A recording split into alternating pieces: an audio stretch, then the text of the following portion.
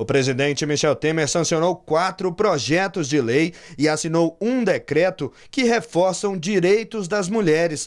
Uma das iniciativas que agora vira lei determina a proibição do uso de algemas em grávidas durante o parto e no período logo após o nascimento da criança. Outros dois projetos que agora viram lei tratam da questão do aleitamento materno.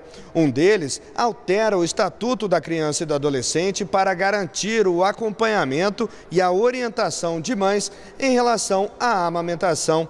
Já a outra iniciativa institui agosto como mês do aleitamento materno no país. Já o decreto presidencial define indulto especial a mulheres presas no Dia das Mães. O presidente Michel Temer destacou a iniciativa das parlamentares em buscar a aprovação dos projetos de lei no Congresso e disse que as medidas reafirmam o papel das mulheres no desenvolvimento do país. Parecem coisas de menor relevância, mas a atualização, por exemplo, do livro do Panteão da Pátria eh, prestigia, com a Zuzu Angela, prestigia a presença da mulher na vida brasileira.